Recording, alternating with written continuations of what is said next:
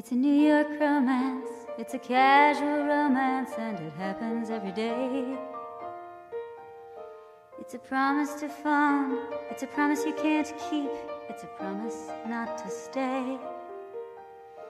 It's a meaningful glance in an unfamiliar place. It's a lover whom you've lived with till you couldn't stand his face. It's a disappointing dinner, it's a charitable chase. It's a New York romance.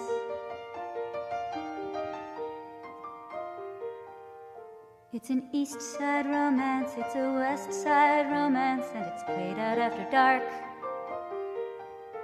It's a kiss on Broadway, or a smile on Bleecker, or a blowout in the park.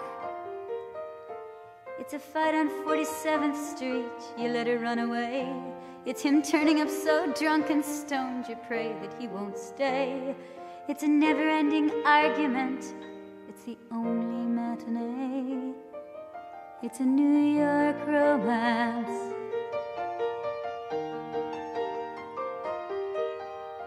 It's a moving romance, it's a stifling romance, it's a romance of the street. It's a he said romance or an I meant romance, it depends on who you meet. It's a subway door that closes and you only see the pain, or a bagel at Grand Central while you're waiting for her train. It's a crosstown connection, it's a taxi in the rain. It's a New York romance.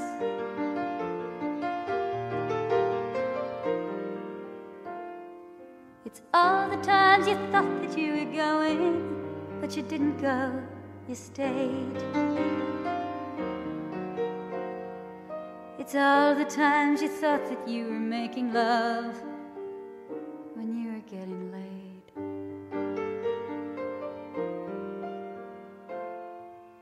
It's a New York romance, it's a ringside romance, it's a terrible surprise.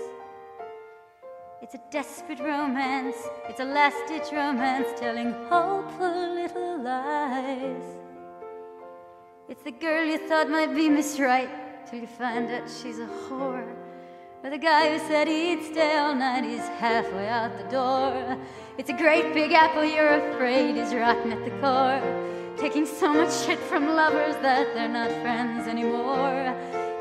Wanting to be far away on some distant shore. It's a careful desperation.